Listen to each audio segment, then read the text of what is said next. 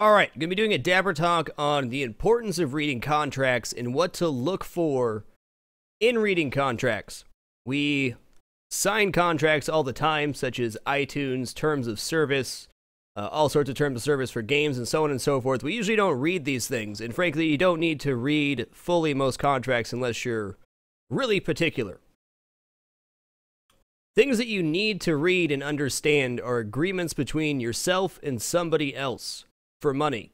So, for example, if you're going to be spending any amount of money on somebody and they make you sign a contract, or you're being paid any amount of money and you have to sign a contract, you'd need to understand it. It happens all the time that people don't read their contract fully and then it comes back to bite them. Most contracts are comprised of multiple sections. In fact, they all have sections. The best way to actually read a contract is go section by section. The point of most contracts is to cover the company's ass.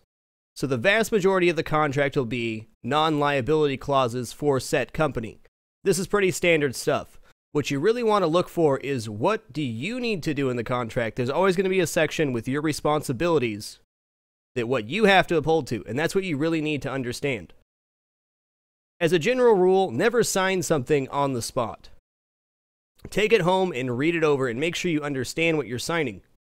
If you have questions, ask them. If you don't understand what words mean, ask them. Any reputable company or service will be able to answer those questions for you. You really just need to look for the stuff that you're responsible for, what you can and cannot do, what can end your contract prematurely if you break it. For example, if you're broadcasting on Twitch TV, please go read the terms of service and understand the terms of service. There's a lot of really nifty stuff in there. Um, I'm going to use the iTunes terms of service as an example. It's an incredibly long terms of service.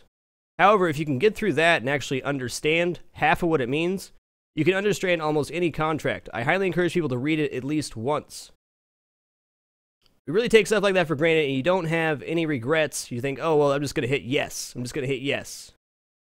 Until you do something that you didn't know you were contractually obligated to do it really comes back to bite you. It is really important that you read your contracts. This won't be a video for a lot of people, and a lot of people won't take it. This, this keeps one person from signing a bad contract. This video is totally worth it. Please read your contracts, understand them, look up words in the dictionary, figure out what stuff means. If you can understand a very long contract, you can understand almost all of them.